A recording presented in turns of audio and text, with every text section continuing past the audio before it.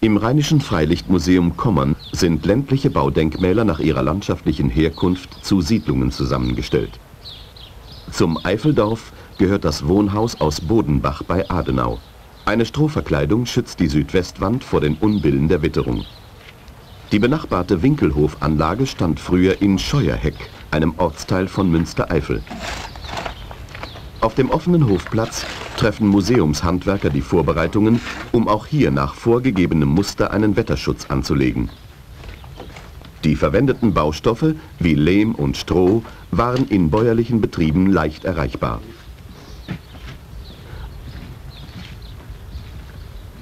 Die Fachwerkfüllungen in der Giebelwand sind bereits durch Sturm, Kälte und Nässe zerbröckelt und ausgewaschen. Um den regendichten Strohbelag anbringen zu können, muss zunächst der Untergrund zurechtgemacht werden. Auf den Eckständer des Eichenholzfachwerks wird eine etwa 3 cm starke Eichenstange aufgenagelt. Sie bildet den seitlichen Abschluss und soll das Eindringen des Windes verhindern. Der Sturzriegel über der Haustür trägt die Jahreszahl 1711. Aus dieser frühen Zeit gibt es für die Eifel kaum Nachricht über die Formen der Wandverkleidung.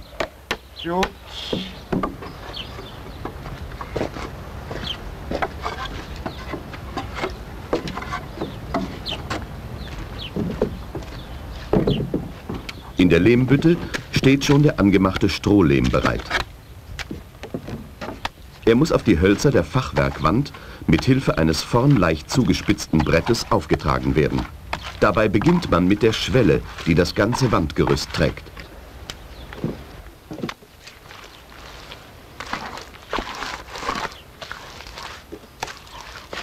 Der zähe, mit Strohhäcksel und Wasser angemengte Lehm wird mit dem zweizinkigen Lehmhaken auf das Brett gebracht, das man als Sporn oder Plästerbrett bezeichnete.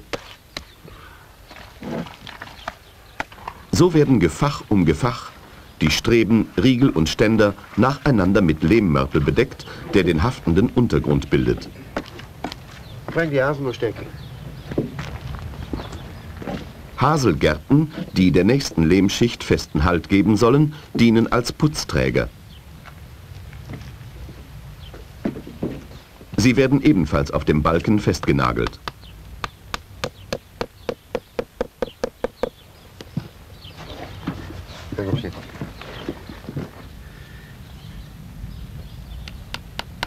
Ein Vorrat, den man bei Bedarf aus dem Wald holte, ist bereits zurechtgelegt.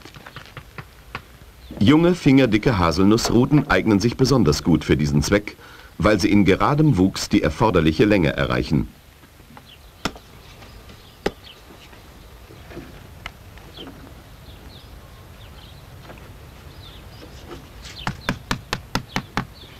Bring noch in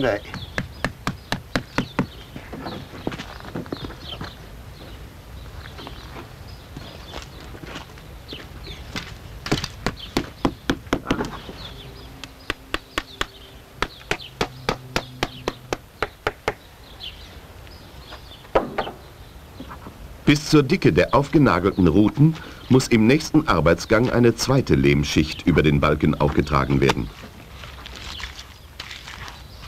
Die Wetterwand, die im rauen Klima besonders geschützt werden muss, wird in der Eifel allgemein als Schlagsick bezeichnet. Es ist die Hausseite, auf die der Schlagregen trifft. Hier handelt es sich um den Stallgiebel eines Anwesens, das zum Typ des sogenannten Wohnstallhauses gehört. Wohnteil mit Herdraum und Stube und die Stallungen sind unter einem Dach vereinigt. Der langgestreckte Baukörper ruht auf einem Bruchsteinfundament. Diese Hausform war in vielen Abwandlungen verbreitet. Die Scheune steht hier als Nebengebäude rechtwinklig zum Haus. Auf dem offenen Hofplatz liegt der unvermischte Lehm bereit, aus dem nun der Bindemörtel für den Strohbelag hergestellt werden soll. Der feinkrümelige, zum Aussondern der Steine und Wurzeln durchgesiebte Rohstoff wird lediglich mit Wasser angerührt.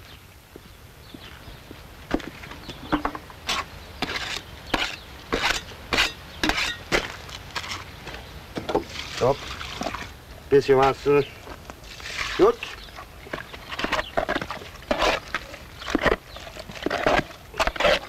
Bring mir die Rührlatze. Wo ist die Bratstadt? Ja, da in der Ecke.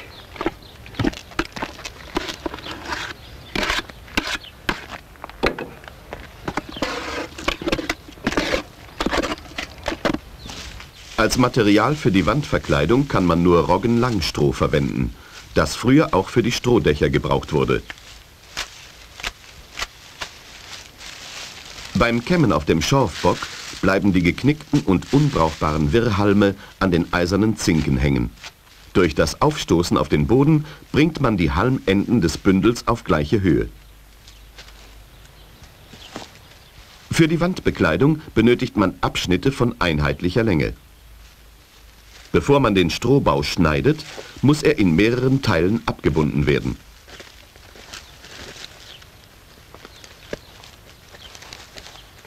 Seitdem in der Landwirtschaft Mähmaschinen und Mähdrescher eingesetzt werden, ist Langstroh kaum noch zu erreichen.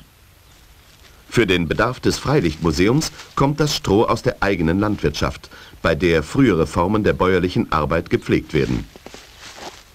Sofern der Bedarf nicht gedeckt werden kann, weicht man auf andere landwirtschaftliche Betriebe aus, die das Getreide noch mit dem Mähbinder ernten.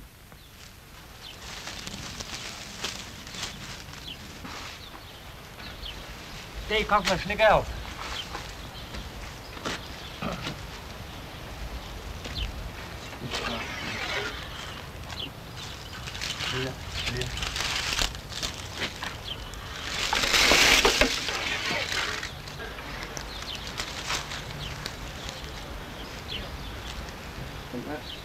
Mit dem langarmigen Hebelmesser wird das Stroh in gleich lange Püngel geschnitten.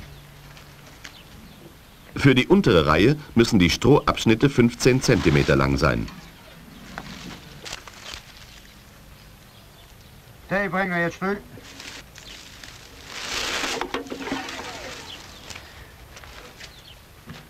Der Museumshandwerker legt jetzt die erste Strohschicht an.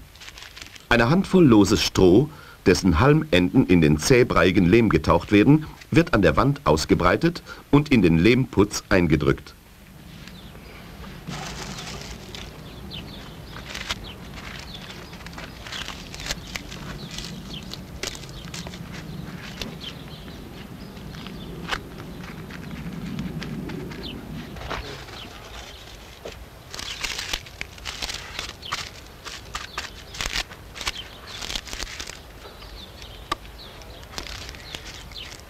Die Halmenden, die nicht mit Lehm bestrichen sind, sitzen unmittelbar auf dem Bruchsteinmauerwerk auf. Sie bilden den Abschluss, von dem das Regenwasser nach unten abtropfen kann.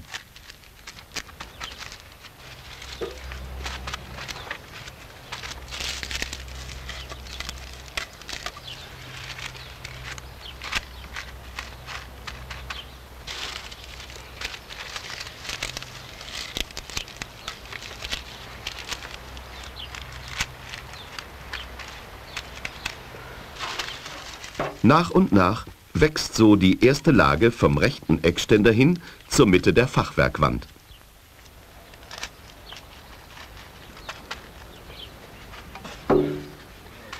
Damit das Stroh oben anklebt, streicht man es mit Kelle und schmalem Reibbrett fest in den weichen Unterputz ein.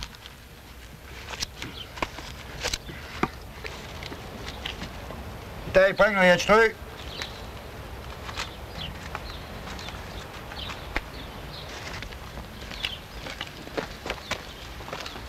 Dahin.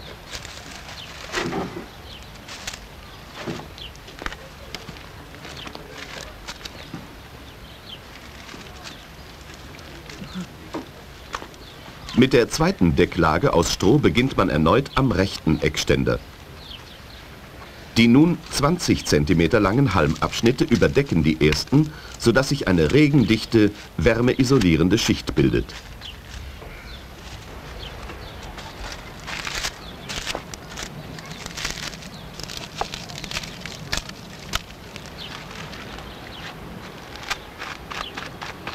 Strohverkleidungen an der Wetterwand haben sich in den rheinischen Landschaften nicht bis in die Gegenwart gehalten.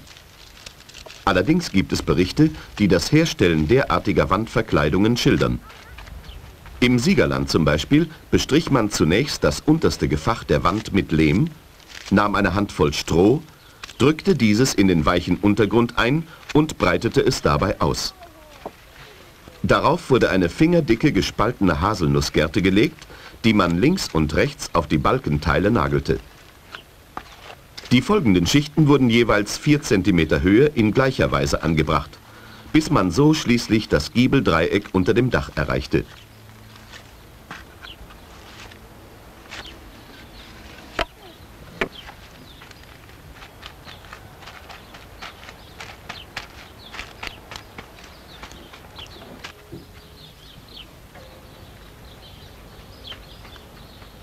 Im Museum hat man Wandreste ähnlicher Art an einem Westerwälder entdeckt, das hier wieder aufgebaut worden ist.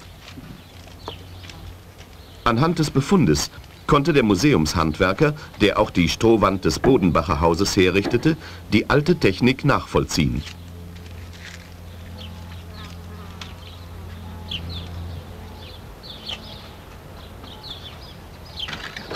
Den Lehm, den man für alle bäuerlichen Arbeiten verwendete, hat man früher in den Gemeindekaulen geholt. Sie lagen am Rande der Dorfgemarkung und sind heute meist mit Gebüsch zugewachsen. Dort wurde der Lehm während der Herbstzeit in Nachbarschaftshilfe gebrochen, sodass er vor der Bruchwand auswintern konnte. Dabei gewann er die rechte Beschaffenheit. In Kommern gab es keine Gemeindelehmkaul. Die Bauern holten sich den nötigen Vorrat in den eigenen Lehmkuhlen. Die Kaul, die vom Museum genutzt wird, ist allerdings für diese Zwecke eigens erschlossen worden.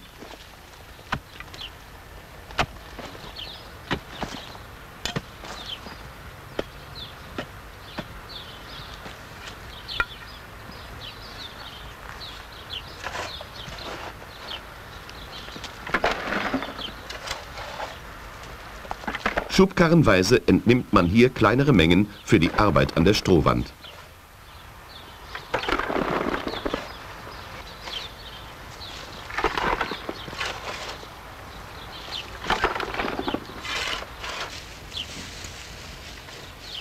Auf dem Hofplatz bereiten die Museumshandwerker aus Lehm, Häckselstroh und Wasser den Lehmmörtel zu, den man als Unterputz für das nächste Gefach braucht.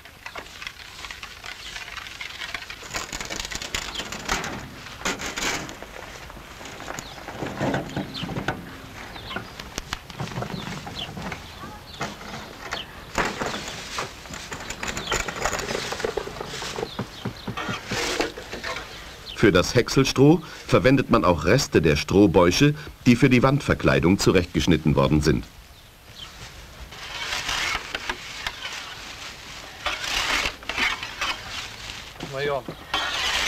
Früher nahmen die Bauern meist Heu statt des vielseitig verwendeten Strohs. Sie mengten dem Lehm auch Ochsenblut und Schweinsborsten bei, damit er die nötige Konsistenz erlangte. Außer Holz war Lehm der wichtigste Baustoff, ehe er von Zement und Mörtel abgelöst wurde. Die Wandgefache der Fachwerkbauten wurden mit einem Gemisch aus Lehm, gehäckseltem Stroh und Sand beworfen und mit einem Lehmputz überzogen. Aus zähteigigem Lehm wurden auch die Scheunentennen gestampft, auf denen das Getreide gedroschen wurde. Ursprünglich wurden sogar vielfach Kuchen aus getrocknetem Lehm zur Errichtung der Schornsteine gebraucht.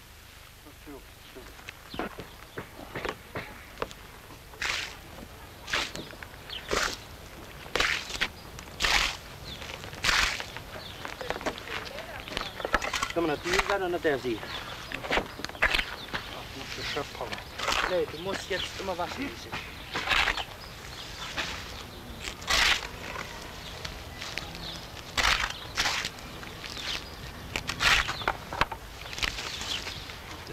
Das lassen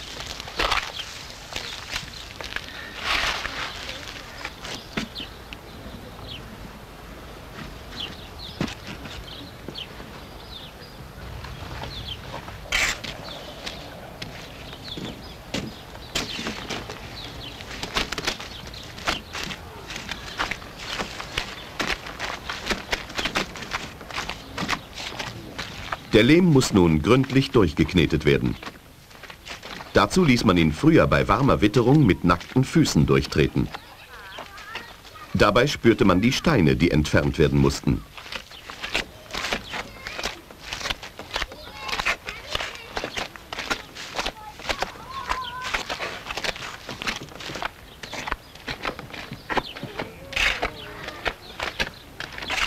Lass noch zusammen scheppen. Haben wir gut genug getan. Ja, das ist fertig.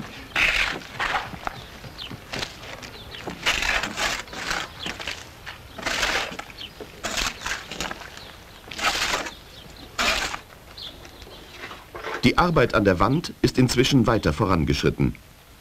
Man hat jetzt ein Gerüst aus Holzböcken und Bohlen errichtet, von dem aus die Strohverkleidung der oberen Wandgefache angelegt werden kann.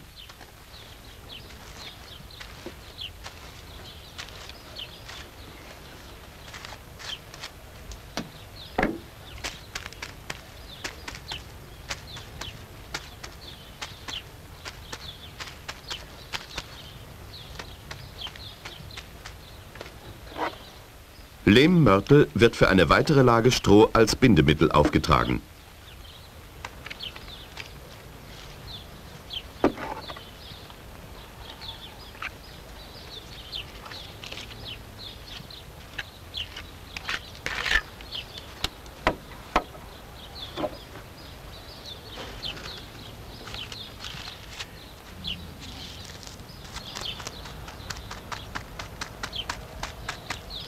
Das Anbringen des Strohs in Bündelchen, die mit der Hand umfasst werden können, wiederholt sich in stets gleicher Weise.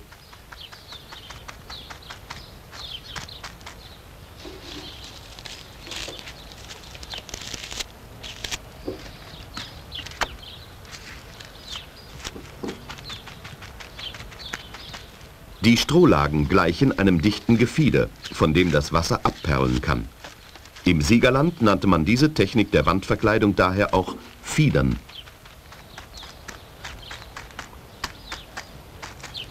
Daneben gab es noch andere haltbare Materialien, die man zur Herstellung eines Wetterschutzes benutzte. Die einfachste Art war die Holzverschalung oder Verbretterung der Schlagseite.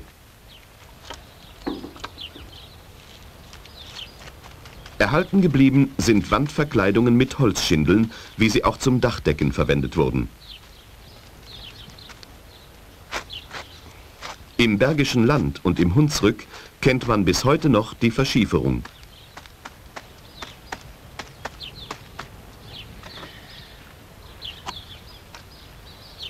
Ein eigenartiger Wandbelag war früher in Kolverath in der Eifel zu sehen. Man benutzte hier langstielige Moospflanzen in der Art, dass 20 bis 25 cm lange Stängel mit den Wurzelenden nach oben in den Lehmputz geklebt wurden. Sie überdeckten sich dachziegelartig und boten so einen wetterbeständigen Schutz.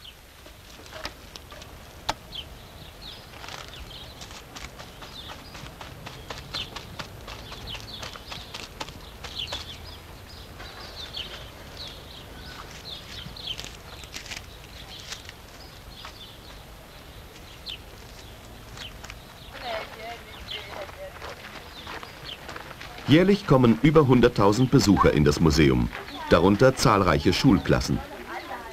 Die Kinder finden hier anschauliche Zeugnisse für das Leben in früherer Zeit. Das Lehm, Wasser und Stroh. Da wird das zusammengemischt, ein paar Mal umgesetzt und dann muss man sich die Jungenstiefel anziehen. Dann wird das Wird das dann auf dem Dach so ge geklebt? Nein, nicht auf dem Dach. Mm. Höchstens die Ferste. Wie wird der Lehm angerührt? Das ist nur Wasser und Lehm. Und Stroh dazu gemischt. Das wird dann so umgemischt, ne? Ja, Ja, wird das noch mit irgendwas abgedeckt, wenn das einmal an den Wänden ist? Nein, das wird nur abgerieben. Wie, wie, wie lange hält das denn? Also wie oft muss man das denn erneuern? Komm auf die Wetterseite ein. Wie das ist, steht jetzt schon mit über 20 Jahren. Wie lange dauert das, bis das hart wird? Tja, nach Witterung. Die Erläuterungen der Museumshandwerker erklären den Kindern die heute unverständlichen Vorgänge. Für das Anlegen solcher Strohverkleidungen wählte man stets die trockene Jahreszeit. Regen würde den frisch aufgetragenen Lehmputz abspülen und das Stroh von der Wand lösen. So wird beim Fortgang der Arbeit die giebelseitige Wetterwand des Hofs aus Scheuerheck in wenigen Tagen ganz mit Stroh bedeckt sein. Die Strohverkleidung wird dann der Schlagsick den gleichen Schutz gegen Kälte und Nässe bieten, der sich beim Nachbarhaus aus Bodenbach seit nahezu 20 Jahren bewährt hat.